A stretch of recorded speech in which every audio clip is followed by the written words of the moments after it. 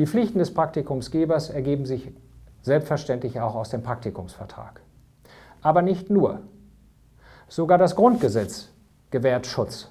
Denn Artikel 2 in Verbindung mit Artikel 1 Grundgesetz geben dem Praktikanten das Recht auf die freie Entfaltung der Persönlichkeit und die Beachtung seiner Würde. Heißt auf den Praktikumsvertrag bezogen, die vereinbarte Ausbildung und die vereinbarte Tätigkeit müssen vom Praktikumsgeber erbracht werden bzw. abgerufen werden. Die Vergütung ist eine weitere Pflicht des Praktikumsgebers. Auf freiwillige Praktikumsverhältnisse ist die Vergütungsregelung über 26 Berufsbildungsgesetz anwendbar. Die Vergütung muss angemessen sein, ist sie nicht angemessen, ist sie unwirksam. Das Problem sind hier wieder die verpflichtenden Studierendenpraktika mit Hochschulbezug. Auf diese Praktikumsverhältnisse soll ja gerade das Berufsbildungsgesetz keine Anwendung finden, sodass es leider immer noch Praktikumsgeber gibt, die keine Vergütung bezahlen. Und das auch noch zu Recht. Das kann aber nicht richtig sein.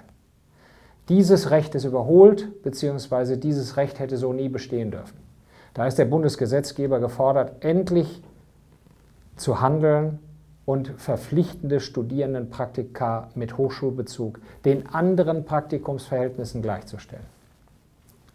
Über 80 Prozent der Praktikumsgeber gewähren auch verpflichtenden Studierenden mit Praktika und Hochschulbezug Vergütung. Das ist dann nicht das Thema. Aber es gibt leider immer noch Praktikumsgeber, die keine Vergütung entrichten. Wichtige Pflicht ist die Fürsorgepflicht. Der Praktikumsgeber hat dafür zu sorgen, dass der Praktikant nicht unangemessen behandelt wird, dass kein Mobbing stattfindet, dass keine sexuelle Belästigung vorliegt. Diese Fürsorgepflicht ist immens. Dazu hat er die Pflicht, das Leben und die Gesundheit des Praktikanten zu schützen. Das heißt, Räume und Gerätschaften so vorzuhalten, dass sie die Gesundheit des Praktikanten nicht beeinträchtigen. Weitere wichtige Pflicht ist aus meiner Sicht die Pflicht zur Urlaubsgewährung. Denn Urlaub ist auch für Praktikanten wichtig und wenn sie drei Monate Ausbildung und Tätigkeit in einem Betrieb absolvieren oder auch länger, dann kann es nicht sein, dass Arbeitnehmer in demselben Zeitraum, Auszubildende in demselben Zeitraum Urlaub bekommen und insbesondere die Studierenden, die ein verpflichtendes Studierendenpraktikum mit Hochschulbezug absolvieren, keinen Urlaub erhalten. Also die Urlaubsgewährung ist wichtig. Und die nächste wichtige Pflicht ist bei Beendigung des Praktikumsverhältnisses die Zeugniserteilung auf Originalbriefpapier mit Originalunterschrift oder Unterschriften und zwar eben in schriftlicher Form. Die elektronische Form per E-Mail reicht nicht.